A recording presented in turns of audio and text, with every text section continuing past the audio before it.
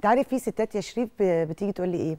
آه أنا كده كده جوزي ما بيصرفش في البيت ومثلا بخيل وفي ناس مش بخلة في ناس معاهم فلوس وكل حاجة بس اللي هو شايفها ناجحة وبتشتغل وبتجيب فلوس فأنا برمي عليها أنا بستغلها. في رجال في رجالة كتير ونسبة كبيرة بتستغل الستات الناجحة اللي بتشتغل اللي معاها فلوسها مع عربيتها معاها بيتها وأحيانا كمان بتبقى مطمع إن هي عندها البيت فبتتجوز بسبب إن عندها بيت. أي. الست دي بتأهل نفسها يقول لك تقول لي إيه؟ طب ما أنا كده كده هو آه، مش عامل لي حاجة.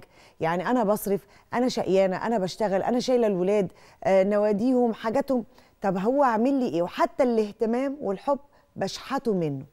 ففي اللحظة دي. الست بتقرر تطلق تقول لك طب أنا أنا إيه اللي جاي عليا إن أنا أكمل حياتي وهو قاعد مستفيد بس ما هي بقى البوينت بتبدأ بإن الست بتحس إن اللي معاها يكاد يكون مش معاها يعني. آه. هو فعليا على الورق معاها بالظبط لكن في الحياة هو مش متحقق هو مش موجود وأعتقد إن البداية ما بتبقاش بالمادة هي البداية بتبدأ بالاهتمام والاحتواء مم. لو الراجل ده مش موجود في الحياة عموما وهو كده يعني بخيل المشاعر بخيل في كل الأشياء صح فهيبدأ يبقى منسحب لورا شوية وهي اللي متصدرة المشهد مم. هتبدأ تحس إنها لوحدها. طيب ما هو أنا لوحدي ضمن ما بقاش لوحدي رسميا ليه؟ أيوه. يعني هي دي اللحظة اللي أنا هحتاج فيها إن أنا أقول للناس يا جماعة الواجهة الاجتماعية اللي بيظهر وبيشاركني فيها نجاحات أو ظهور هو مش المفروض إنه يبقى موجود في الصورة دي. بالظبط. أنا أنا صاحبة الصورة دي لو عندي إنجاز مع أولادي ما ينفعش إن هو يحضره بصفته مشارك وهو مش مشارك.